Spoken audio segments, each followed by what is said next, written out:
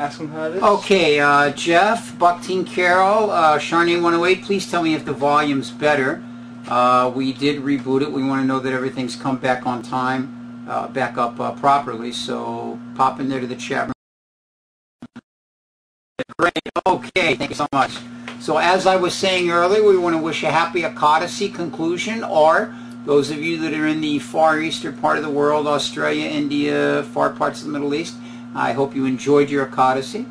It's a wonderful day. I was just reading in a book called Vaishnava Etiquette as we were waiting to begin, uh, some information about observing a Ekadasi and how important it is. So keep your Ekadasis marked on your calendars.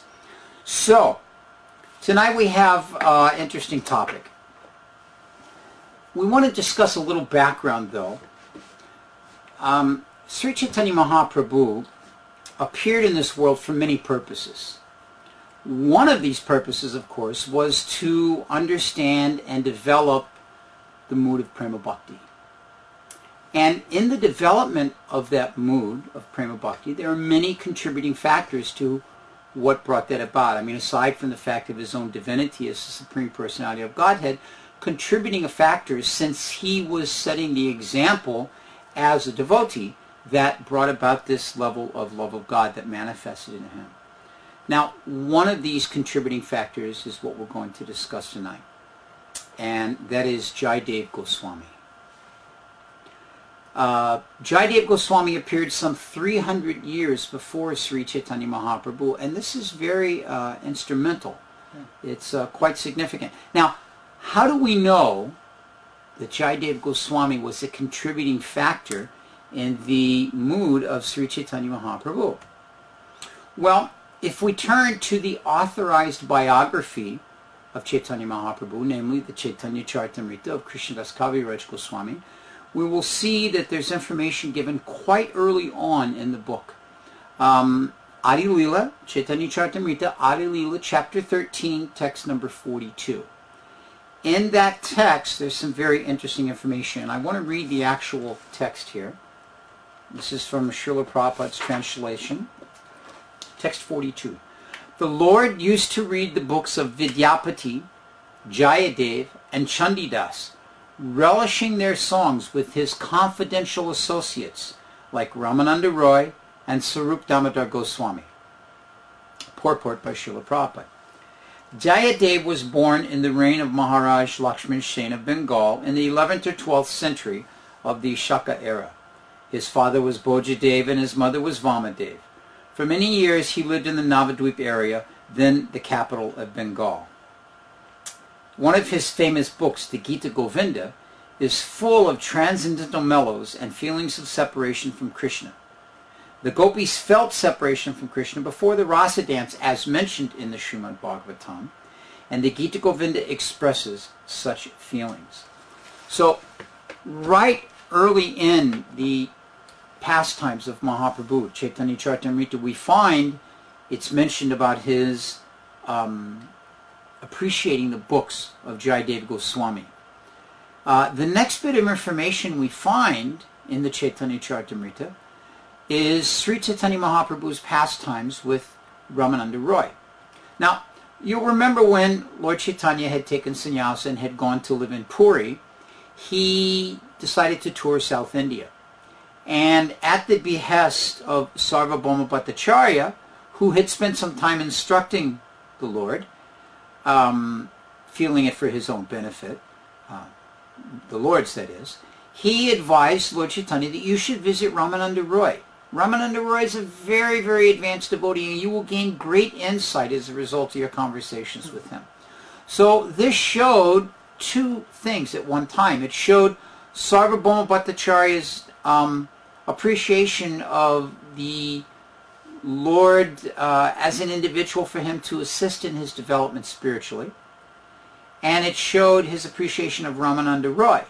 Of course, this is at a time when Sarvabhauma Bhattacharya is still somewhat covered over by Yogamaya, not Mahamaya, but by Yogamaya for the sake of the pastimes of the Lord. So he encourages him, when you go to South India, you find this Brahman, Ramananda Roy. So Lord Chaitanya found Ramananda Roy and began to discourse with him. Uh, it's interesting because we find Sri Chaitanya Mahaprabhu so-called learning from Ramananda Roy's teachings. Yet Ramananda Roy says, my dear Lord, I don't know why you're asking me questions because I'm answering only as you allow me to answer. So Ramananda Roy was acknowledging this, but nonetheless, this was the mood of the pastime. And so Lord Chaitanya asked him many different questions, and each question would, if you will, ratchet up the ecstasy, the devotional level a bit more. And he would ask him about different topics, and he inquired from him. He said, among the many songs, which song is considered to be the actual religion of the living entities? Ramananda Roy answered to him, he said, that song that describes the loving affairs of Radha and Krishna, that is the highest of all songs and superior to all others. Now, in the purport to this verse in Madhya this is uh, I mentioned, chapter 8, verse 250, Srila Prabhupada mentions that Jayadev Goswami's songs, particularly his song Gita Govinda, fall into this category. Hmm. Now, it's also equally important at this time to remember that the conversations between Ramananda Roy and Lord Chaitanya at this point are um, highly uh, advanced. Um, it's as we hear the word a lot now, Rasik Bhava. Very, very high level of devotional service that Prabhupada says in the purport there again is not meant for the ordinary persons. So we should understand uh, that it's very important. As a matter of fact, in the purport to the first verse that I read in Adi Lila, Bhaktisiddhanta Saraswati, Prabhupada quotes him with a specific warning, which I'll read. Bhaktisiddhanta Saraswati Thakur comments in this connection that such feelings of separation as Lord Chaitanya Mahaprabhu enjoyed from the books of Vidyapati, Chandidas, and Jayadev are especially reserved for persons like Sri Ramananda Roy and Swarup Damodar and others who might be Paramahamsas, men of the topmost perfection, because of their advanced spiritual consciousness. Such topics are not to be discussed by ordinary persons imitating the activities of Sri Chaitanya Mahaprabhu.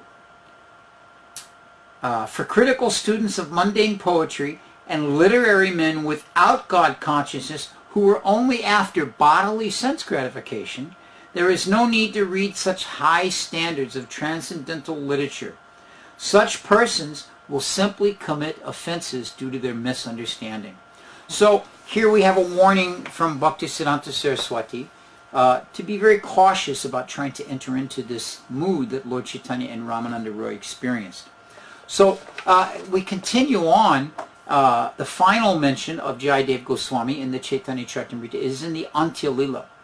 And in the Antya Lila chapter 20, verses 67 and 68, we find here the Lord is beginning to wrap up his manifest pastimes here in this world. And in wrapping up these pastimes, he begins to dive very deep into a secluded and highly advanced level of devotional service, feeling of separation. Actually, uh, the verse says, deeper than millions of oceans was the mood of Sri Chaitanya Mahaprabhu. And in that verse, it mentions in the verse by Krishnadas Kaviraj Goswami, and we remember that this section of the Chaitanya Charitamrita is taken from the notes of Raghunath Das Goswami, who was there mm. in Puri at the time, and Swarup Damodar, mm. that there were four writings which enhanced this mood of Sri Chaitanya Mahaprabhu. The first was selected verses from the 10th canto of the Srimad Bhagavatam, the pastimes of Krishna and the Gopis. The second was Ramananda Roy's Jagannatha Vallabha Nataka, pastimes of Lord Jagannath. Mm. The third was Bilbamangala Thakur's Krishna Karnamrita. And by now you may have guessed the fourth, Jayadev Goswami's Gita Govinda. So this is a, uh, a very, very important writing, is Gita Govinda, and these are very, very important um, topics of Jayadev Goswami. So, you know, we might ask, who is this Jayadev Goswami? I mean, that would be the proper thing to do if he had such a contributing effect in the mood that Sri Chaitanya Mahaprabhu developed, and if he's, his teachings were considered by Ramananda Roy to be part of the collection of the highest songs of this world. And we all know there are many, many songs in this world. We were just discussing prior to this the endless uh, array of assault on the ears of mundane musical topics that are out there. No matter where you go and what you do and what building you walk into, it's all there. And so the highest are the ones we aspire for. So who is this Jayadev Goswami that has written these? Now, Jayadev Goswami is said to have appeared in the 11th or 12th century, sometime in that crossover period between the two. And uh, there are some different opinions about where he made his birth, but the most common held and accepted uh, understanding is that he appeared in the village of Kendu Bilva. Now, Kendu Bilva is in the Birbhum district of Bengal. Now, this is an interesting thing in itself. Actually, um, Kendu Bilva is about 20 miles south of, uh, uh, of the Birbhum district of Bengal um, on the banks of the Ajaya River. And uh, it's stated that Jayadev in that area found as a young child the deities of Radha Madhava that he would worship all throughout his life, in his uh, youth, in his Grahastha life, and in his later years. And um, his, as we read earlier, his father's name was Bojadev, and his mother's name was Vamadev. Now, Jayadev himself lived for a very long time in Navadvip. And this was when it was uh, the reign of the king of Bengal, Lakshman Sen, and he made his home not far from there. He's actually the uh, court poet. This is uh, an interesting point, I think, that, you know, someone who 300 years later would make such a, a, uh, a significant contribution to the life and mood of Sri Chaitanya Mahaprabhu and the way he was trying to develop his teachings would have lived in Navadvip prior to Mahaprabhu's living there. I think that this is, uh, you know, something that we can see a wonderful connection there. So at the time, the chief scholar in that court uh, was uh, Govardhanacharya. And uh, Govardhanacharya was a scholar, and the poet of the court was Jayadev Goswami. So this is a very, very amazing time we can imagine. Uh, the um, Bhaktivinoda Thakur writes in the Navadvip Mahatmya that Lakshman Sen was very, very uh, delighted to hear the hymns of Jayadev Goswami's Das Avatar. Now, if you've been to Mayapur and traveled, you'll know that not far from our Mayapur Mandir is the site where Jayadev Goswami is said to have written the Das Avatar prayers.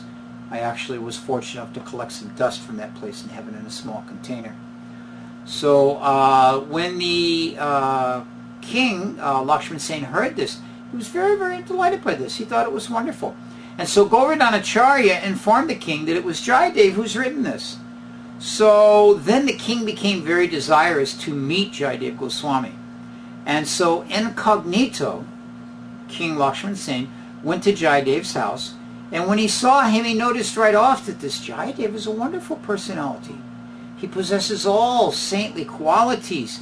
He's uh, greatly powerful. He has a wonderful spiritual potency. So he became very impressed and very attracted by Jayadev. And uh, the king then went forward and revealed his identity. Uh, let him know that I am such and such. And he asked him, he said, I'm inviting you to please to come and live in the king, be the poet. I've heard this Das Avatar prayer that you've written. And Prabhupada, of course, liked to sing this song very much.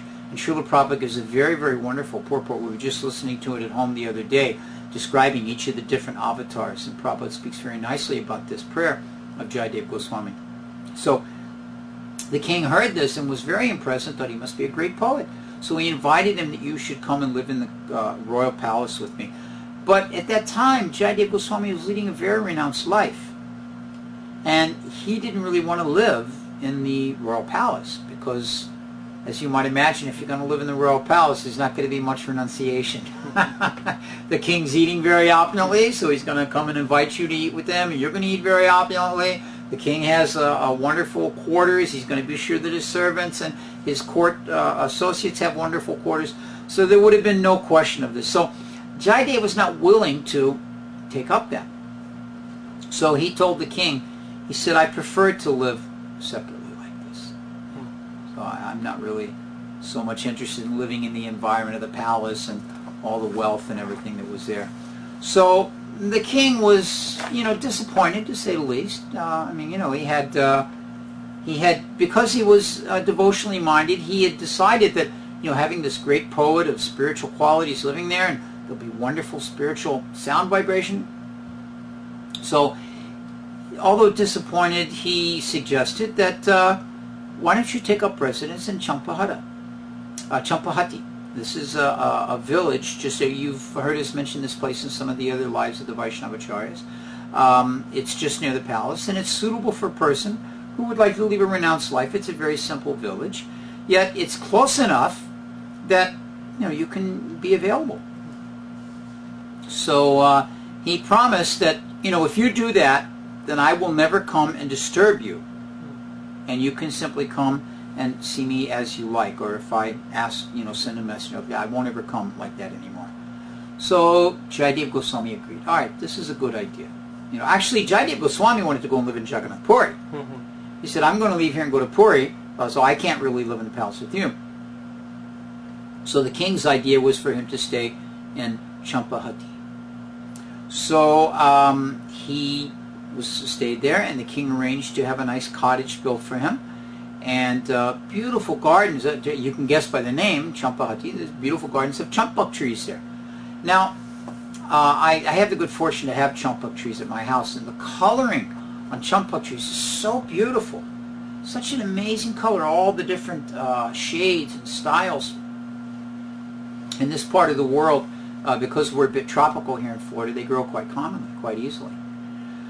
So the coloring is beautiful. What to speak of, they have a very fragrant smell. So this was the reputation of this uh, place.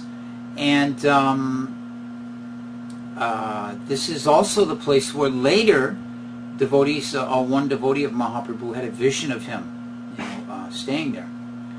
So uh, anyway, Jayadev Goswami settled there. And um, this is where he first established the very wonderful worship for Radha Madhava. He um, combined uh, the beauty of their form with all the beauty of the champak flowers, and uh, this reminded him of Gauranga Mahaprabhu. He had this vision, um, because in later times Mahaprabhu would appear, and this is a vision that he had there of Sri Chaitanya Mahaprabhu, and so the champak flowers and the decoration of his deeds and all this is just very, very wonderful. Very, very nice. So after Lord Chaitanya gave Jayadev Goswami this vision, right, it, it actually mentions earlier, excuse me, that although Jayadev Goswami appeared before Mahaprabhu, Mahaprabhu imbibed himself through the writings of Jayadev Goswami for that mood of love of God.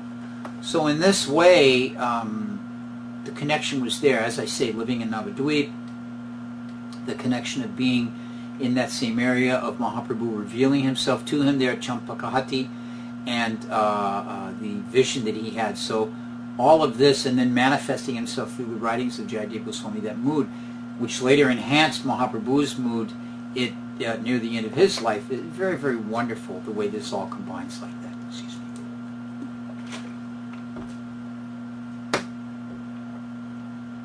So after some time of living there and uh, performing his duties there, uh, Jayadev was instructed by the Lord that he should go to Jagannath Puri. Now, um, Jayadev Goswami went and resided in Jagannath Puri, and uh, there he engaged as the court poet to King of Orissa as well. So this was his nature wherever he went. And um, he would write poetry and uh, songs and glorification of Lord Jagannath in this way. Now, while he was living in Jagannath Puri, a very amazing thing happens. Lord Jagannath himself ordered Jayadev Goswami to marry. It's quite an amazing story. Um, the woman that he married, her name was Padmavati.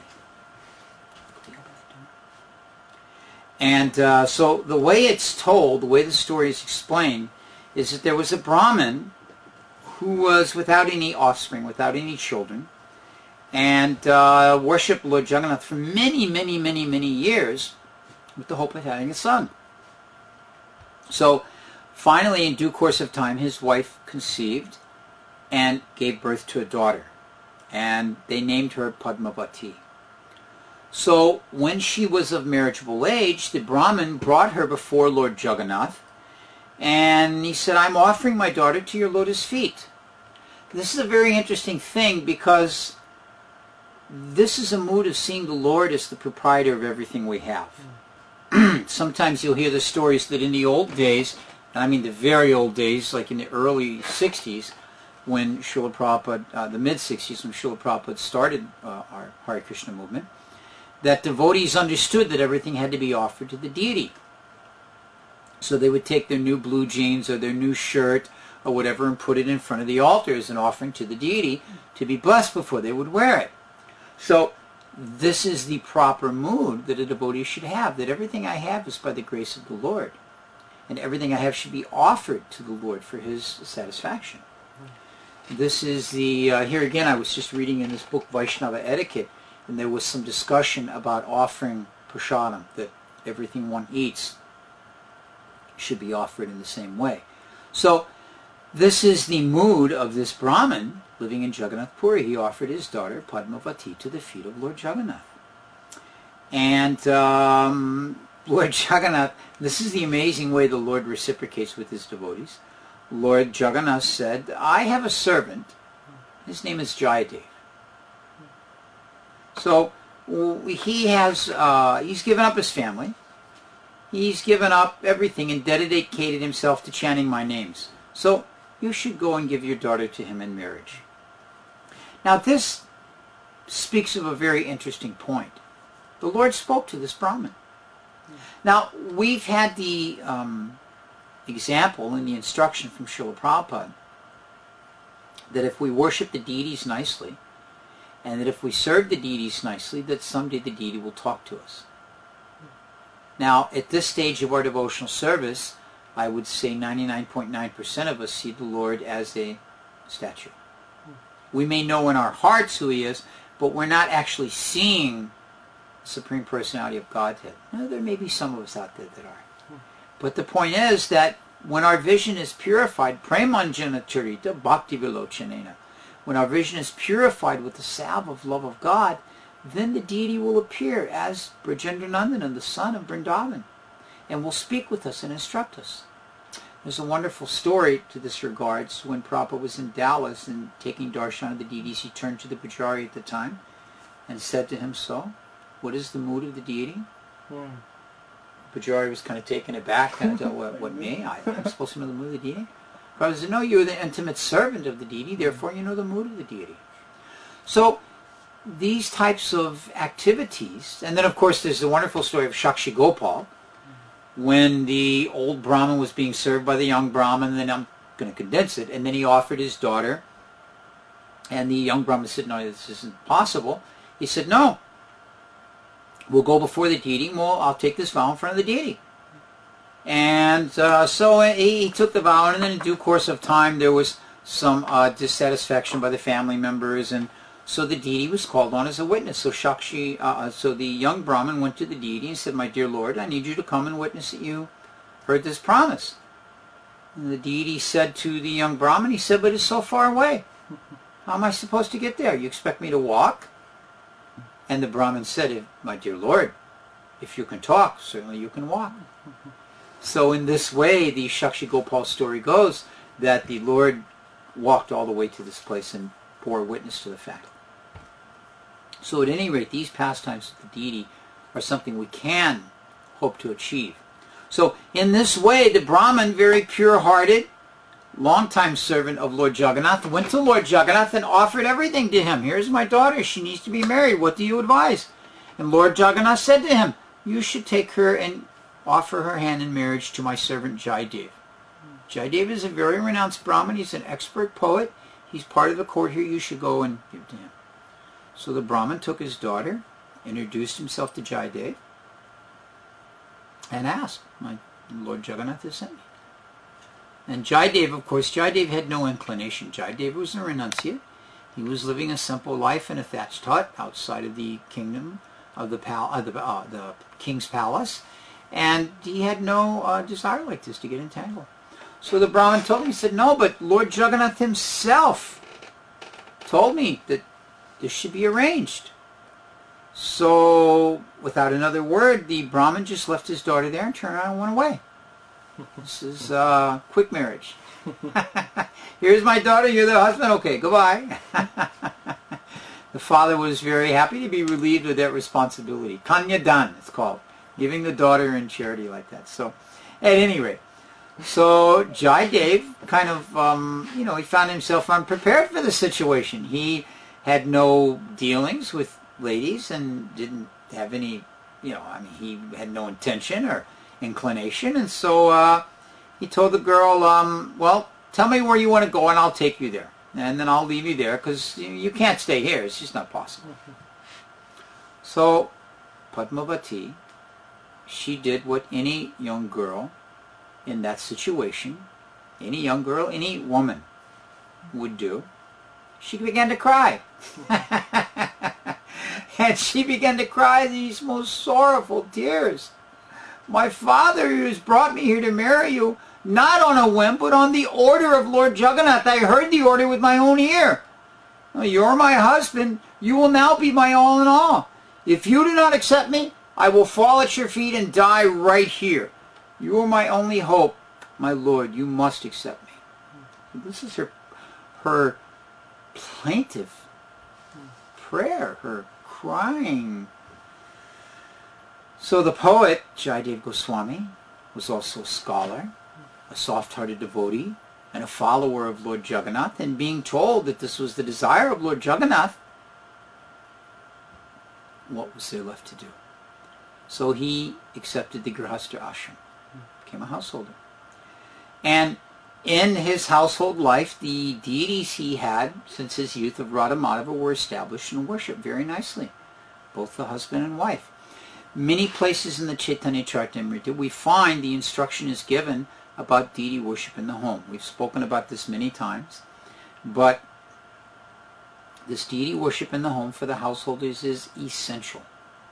Because the nature of household life relationship between husband and wife, relationship with children, acquisitions, acquiring things, and uh, facilitating the desires of the children and giving them so many things.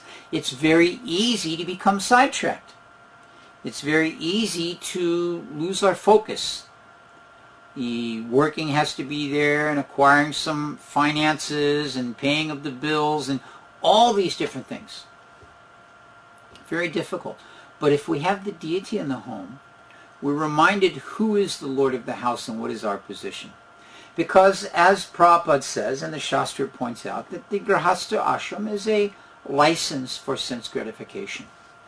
Some persons in this world, they have no interest in relationship with the opposite sex, any kind. Then there are those that are interested in that way, so the Grihastha ashram is made available for that. But in that uh, activity, there's a tendency to think oneself the enjoyer. There's a tendency to think oneself the Lord and Master, to think oneself the proprietor of all one's possessions. So if one installs the deity in the home and worships the deity as the Lord of the home, as the master of the house, as the person who everything should be brought before, then it's actually very easy one can take the uh, bhoga that comes into the house and offer it to the deity. There's that wonderful story of Bhaktisiddhanta Saraswati when he was just Bimal, a young boy, and Bhaktivinoda Thakur brought mango to the home, and he took and said, oh, this one will be mine. And Bhaktivinoda mildly rebuked him, what? Fresh fruit has come to the home, and you're taking it first before the Lord? This is not proper. And from that day forward, Bhaktisiddhanta was a young boy. He swore he would never take mango so much of an impression this had on him that the first everything should be offered to the Lord. Even we can include the Lord in our family activities. My dear Lord, we're going to, uh, you know, we can arrange, uh, uh, many devotees have swing ceremony in the yard. Take the Lord out, invite some devotees over, chant kirtan. Um, here in Alachua, so many grihasthas have so many wonderful deity worship programs going on, and they invite devotees to their home and have wonderful programs like that. Deity becomes the focus in this way. So this is the importance of having the deity in the home, and this is the example we see that Jayadev Goswami gave in the establishing of his household ashram with his wife Padmavati and the continued worship of his deities Radha Madhava. Now, there's uh, many stories, and there's one particular story about Jayadev I'd like to relate. Um, this is later in Jayadev's life. He was writing Gita Govinda, and he had come to a particularly sensitive section of the Gita Govinda. And this section describes Krishna's uh, relationship with the gopis headed by Srimati Radharani. So, as any of you that have done any type of writing, even just a simple Vyas Puja offering for your spiritual master, it takes some thought. It takes some focus. It takes some time. I was talking with a young boy in our community yesterday, and we were just discussing his education. He's in college and doing some studying, and he was explaining how he finds it difficult to study at home with the other siblings and the activities of the house. So he goes to the library and he studies there because there's a mood of quiet, of solitude, of being able to focus like that.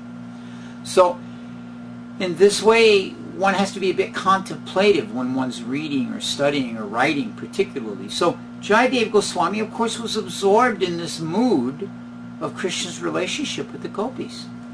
And in one sense, uh, one section of it, he was writing how Krishna's uh, position was, um, how shall we say, subordinate to the gopis.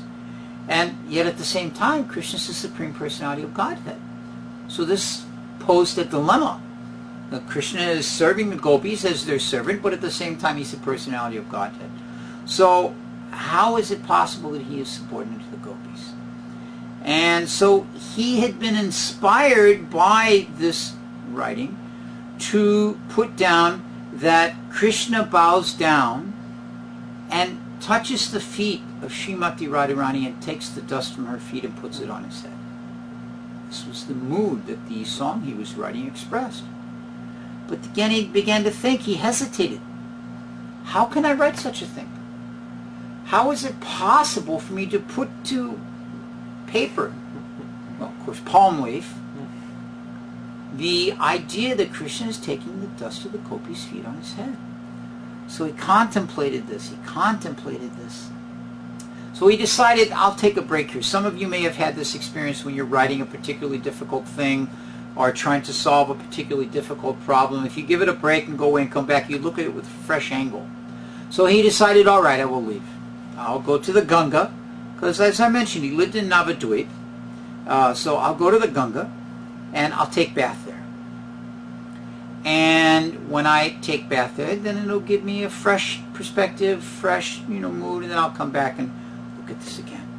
So off he went to the Ganga to perform his uh, afternoon activities, take his bath, and all like that. So, uh, and of course at this time, the activity of his wife, Padmavati, was to um, begin to cook the lunch to prepare for his uh, meal that would be offered, of course, first to his deities of Radha Madhava, and then he would sit down and take prasad. While he was away at the Ganga, Krishna came. Krishna, of course, is in the heart of all living entities. Krishna particularly says, I don't reside in Vaikuntha. I reside in the heart of my devotee. So Krishna came and he came in a very interesting way. He disguised himself as Jayadev Goswami. So he entered into the home. Now, of course, Mother Padmavati is a very chaste wife. If some man enters the house that is not her husband, she's going to take note of it. But her husband entered, oh, okay. Sometimes that happens after some years. The husband and wife just kind of take for granted the other's presence. It's not such a notable thing. Oh, someone has come in the room. Oh, yeah, they're over there. Yeah, like that. so, in any way, um, Jayadev Goswami came in. She noticed he had come in and she continued cooking. So cooking was finished and she made the offering to the Lord. In the meantime, Krishna went into Jayadev Goswami's desk. And he went over to the writing desk and he picked up the uh, sheaves of palm leaf and he came to the section where Jayadev Goswami had stopped. And he picked up the quill and dipped it into the ink and he wrote the verse down which says that Krishna bows down to the lotus feet of Srimati Radharani. So then, this is the really amazing part. He could have just left, that was that. Then Krishna, disguised as Jayadev Goswami, went in and the wife called Prabhu, it's time for prasad, please. And she put the prasad down and Krishna sat down, disguised as Jayadev Goswami, and took the prasad that Mother Padmavati had cooked. And then after finishing the prasad, he stepped outside to throw away the plate, rinse the hands, the water, because these things were not done in the house. Nowadays, of course, we have the garbage right in the house. But in those days, you would go outside and throw the garbage outside the contaminated place from where you've eaten, toss them outside, and rinse the hands outside the house. Also, the toilet was not in the house. These were separate. Though in in in our American culture, we view it as a great step forward when the outhouse was brought inside the house. Indoor plumbing. This was a great advancement. But actually, it was not a very civilized step in advancement. At, at any rate, that being what it is. So uh, Krishna went outside, disposed of the plate, rinsed his hands, and disappeared. So, due course of time, Jayadev Goswami came back. He just finished his bath in the Ganga. He came back into the house. And uh, so he said to his wife, so uh, is Prasadam ready?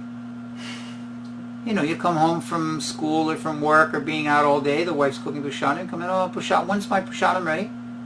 Oh, it'll be half an hour more. Uh, 15 minutes. It's been ready for an hour. Where have you been? like that. it's been sitting there getting cold. Don't ask me to warm it up.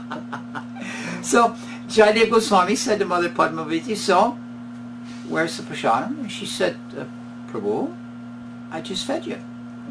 Judge says, what do you mean you just fed me? You just came in, you went into your room and wrote something, and then I fixed your prasadam, and you stepped outside, and now you're coming back in just a few minutes later and asking for prasadam again. Maybe the sun has been too much for you. well, Jayadev was very astonished by his wife's story. I mean, after all, Jagannath told her to marry him, so he knows she's, you know, a very special person. So he went over to the book, and he saw that the line was there, and the ink was still wet. Hmm. Krishna bows his head down to the lotus feet of Srimati Radharani. So when he saw this, he cried out, It is a miracle! It is a miracle! See right here, when I told you I was reluctant to write this verse, then I decided to go to the river and take bath, and come back and take prasad and then try again. And now I've come back and it has been written. Krishna has come and disguises me and written this verse himself and you have served him prasad. My dear wife, you are the most fortunate of people. Krishna has taken prasad directly from your hand. So in this way, the conclusion of this section of the Gita Govinda was able to be brought about, even though Jayadev Goswami himself was not able to do it, and Mother Padmavati got the uh, benefit of being able to uh, feed Krishna directly from her own hand. so, uh, uh, sometime later in his life, uh, Jayadev went to Vrindavan. And he took his deities of Radha Madhava with him and set off for a very long journey. Now, it doesn't mention at this time whether his wife went with him or whether she had departed. The history of Jayadev Goswami is uh, a little sparse in some sections. But we kind of get the gist and the mood that he's on his own. Whether the wife has departed or gone back and he's taken sannyas or whatever, we don't know that exactly. Um, but Jayadev Goswami takes his deities of Radha Madhava from Bengal and begins the long journey to Vrindavan. Now we can imagine, because we've discussed many times the journey Shivananda Sena took with the devotees going from Bengal to Puri. Now I traveled one time overnight from uh, Krishnanagar to uh, Puri and it's an overnight train ride. Boom, you're there. So walking every day, you can imagine quite some distance. But now from Navadvip all the way to Vrindavan. So it was a very, very long journey. And once he arrived in Vrindavan, he went to Keshighat. Keshighat is one of the most wonderful and mystical places in Vrindavan. Nowadays we see Keshighat and maybe we don't see it like that, but it's a very, very wonderful place. So he resided there in the Keshighat area. Now keep in mind, this is uh, still during the decline period, you know, 300 years before Mahaprabhu. Between that time, Vrindavan was still, there was still some traces of Vrindavan. Uh, hadn't completely disappeared. So Keshighat was obviously there, and he went there and resided and worshipped his deities of Radha Madhava, living there at Keshighat. Now the local residents, they would hear him daily singing his Gita Govinda to his deities of Radha Madhava. And they became very, very attracted. So one wealthy merchant who was in the area there, he built a large temple there for the deities, and that is how they uh, came to be in the temple they were in. So sometime later it mentions that he then again returned to uh, Kendu Bilva uh, after living in Vrindavan for many years and that he spent the rest of his life there um, worshiping the deities and performing his bhajan and would take long walks to the Ganga and bathe there every day like that. And uh, there's one amazing story that one day, due to uh, feeling health, he wasn't able to make it to the Ganga. And so Ganga Devi uh, herself she personally came to the village. There was a bit of a flood, if you will. Just like in Mayapur, Ganga comes to get darshan of Radha Madhava every year. Mm. Comes up out of the banks and into the Mayapur complex and brings all of her water with her. And so in the same way, uh, Ganga Devi went to the village of Kendu, Bilva, and uh, um, in this way Jayadev Goswami was able to bathe. Uh and eventually, the uh, story is that he departed from this world there uh, in uh, Kendu Bilva uh, on the banks of the Ganges. Now, there's one other story that's told. Um, actually, with Jayadev's life, there are a few different uh, angles, but they're confirmed at the end by different acharyas. So, uh, another story is that uh, Jayadev finished his life in Jagannath Puri. That he went back to Puri and stayed in Puri for some time and left his body there. And then the third version is that uh, he went back to Vrindavan and departed from this world there. However, as with the earlier instruction here, Bhaktisiddhanta Saraswati Thakur, uh, he confirms that it is his opinion that Jayadev Goswami left this world in Jagannath Puri. Hmm. This seems to go along with some of the other um, pastimes because it's said that when he was in Jagannath Puri in the later years, he arranged that every day the Gita Govinda would be sung to Lord Jagannath. Mm. And this was one of his um, final activities uh, in his life was to make this arrangement there. So, um, you know, in this way, and, and, as far as his deities of Radha Madhava, it's mentioned that the uh, deities were taken by the king of Jaipur, because uh, you may know the king of Jaipur saved many of the deities of Vrindavan during the different uh, difficult times of invasions. And he took those deities to a place called Gati, sometime after the disappearance of Jayadev Goswami. And they're uh, still in the area of Jaipur being served there. So, um, as we mentioned, besides the Gita Govinda, another very famous book of Jayadev Goswami's is the Dasavatar uh, um, Gita. And uh, another one of his books was uh, called Chandraloka these are three very famous books. Now, when he composed the Gita Govinda, he composed it in Sanskrit, and it describes throughout the story the loving affairs between Radha and Krishna, as one can imagine from the line that he had difficulty writing. And um, these songs are known to be of a particular type of rhythm and all that's very difficult to find still existing. And as a result, most of the times when we hear Gita Govinda, it's not in its original form uh, Goswami wrote this following thing himself about his work, the Gita Govinda. I think it's a very nice thing to write here. That whatever is delightful in the varieties of music, whatever is graceful in fine strains of poetry, and whatever is exquisite in the sweet art of love, let the happy and wise persons learn that from these songs of Gita Govinda. So in this way, he very much was desirous that the uh, devotees would be able to um, appreciate this mood of Gita Govinda.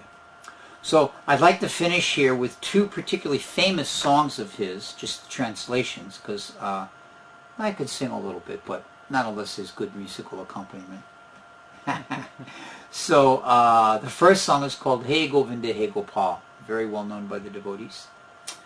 O pleaser of the cows, O protector of the cows, O bearer of the finest hair, O husband of the goddess of fortune, you are very merciful to the fallen souls.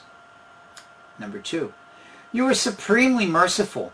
O Lord, supremely merciful. O Keshava, O Madhava, O Dinadayal. Verse 3. Wearing bright yellow garments and a peacock feather upon your crown, you play the flute and make the sound of the flute sound like the name of Sri Radha. Verse 4. You are the cowherd boy that gives great delight, O Lord, the cowherd boy that gives great delight. O Keshava, O Madhava, O Dinadayal. Verse 5. You take away our fear of being trapped on the wheel of repeated birth and death in this material world. And you are the splendorous killer of the demon Madhu, the destroyer of all tribulations. You are the supreme resting place for all souls. Now, before I read the second one, I'm just going to mention now that um, since we're near the end, if anyone has uh, any questions they'd like to pose through the chat room, if anyone has anything they'd like to bring up, I see we've already got one question to deal with here once we're finished. Uh, but if you have anything you'd like us to discuss, feel free to post your questions there. And then uh, afterwards, we will be able to uh, try and address those to the best of our ability. Uh, the second song is called Srita Kamala, also another very well known. O Lord, who rests upon the breast of the goddess of fortune, O Lord, decorated with swinging earrings, O Lord, who wears a charming garland of forest flowers, O Lord, Jayadev, one who defeats the demons, O Lord, Hari, all glories to you. Verse number two. O Lord, whose ornaments are as splendid as the orb of the sun. O Lord, who breaks the cycle of repeated birth and death. O swan who swims in the peaceful lake of the sages' hearts. O Lord Jayadev, O Lord Hari, all glories to you. O Lord, who defeated the poisonous Kaliya serpent, O delight of the people, O brightly shining sun that causes the lotus flower of the Yadu dynasty to bloom, O Lord Jayadev, O Lord Hari, all glories to you. Verse 4. O killer of the demons Madhu, Mur, and Naraka, O Lord who rise upon the back of Garuda, O Lord who enjoys pastimes among the dynasties of the demigods, O Lord Jayadev, O Lord Hari, all glories unto you. O Lord whose eyes are immaculate lotus petals, O giver of liberation from the cycles of repeated birth and death, O priceless treasure of the three worlds, O Lord Jayadev, O Lord Hari, all glories unto you. O Lord, who has become the ornament of the daughter of the Maharaj Janak, O Lord, who is victorious over all wicked demons, O Lord, who has defeated the ten-headed Ravana in battle, O Lord Jayadev, O Lord Hari, all glories to you. O Lord, as handsome as a fresh rain cloud, O lifter of Govardhan Hill, O Chakora bird who drinks the moonlight of Radharani's face, O Lord Jayadev, O Lord Hari, all glories to you. O Lord, we are bowing down before your lotus feet. O please think of us in this way, and kindly grant auspicious to us as we bow down before you. O Lord Jayadev, O Lord Hari, all glories to you. This song of the poet Jayadev brings transcendental happiness. It is auspicious, brilliantly effulgent, and the most wonderful of songs.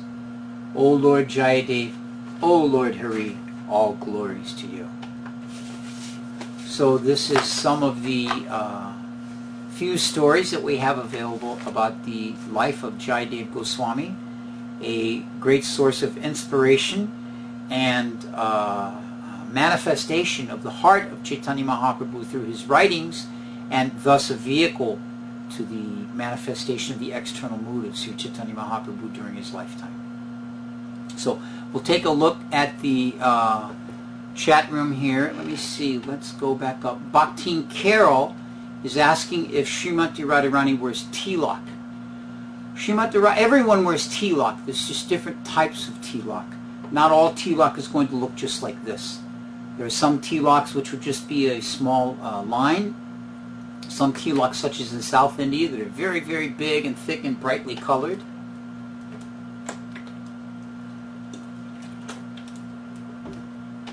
And different sampradayas and different uh, uh, orders of devotees will wear different types of tilak too. So everyone has tilak. All devotees do. Um, uh, Bhakti Carol asks again, is there proof of the disciplic succession? That is, where is proof of record of disciplic succession that is in the Bhagavad Gita and how is this sustained for those outside of this the uh, as she refers to here, the beginning of the Bhagavad Gita gives the line of disciplic succession, and this is passed on from teacher to disciple. And this can be researched for those that have the ability, just like our research is limited to the last 500 years, and we can trace through writings and readings, this devotee was the disciple of this one, and the teacher of that one, so on. In the same way, those that know where this information is can also follow the disciplic succession that's given in the Bhagavad Gita backwards in the same manner, following teacher to disciple like that. Uh, what else here? Um, Hari Bol is the name of the person asking the question. How did Ramananda Roy curb the pride of Cupid? Uh, we have time to describe Lord Chaitanya's interaction with the Vallabha Sampradaya. Well, um, Ramananda Roy curbing the pride of Cupid, I'm not exactly sure what pastime you're referring to there. Uh, the bulk of the pastimes of Sri Chaitanya Mahaprabhu and Ramananda Roy are described in the uh, Madhya Lila. There is one description of Ramananda Roy actually being beyond the influence of Cupid because Ramananda Roy had the responsibility of training the uh, Devi Dasis. These are the young female dancers for the pleasure of Lord Jagannath in the temple. They would perform dances. And he was the person that would arrange for their costumes and for their outfits and for the proper decorations and the proper dancing and teach them in this way. And it describes how he was completely unaffected um, by the presence of these young girls. So this may be what you're referring to as curbing the pride of Cupid. And uh, unfortunately, we won't have any time today to talk about Lord Chaitanya's dealings with the uh, Vallabha, with Vallabha Bhatta. Um, we'll save that for another time. Um,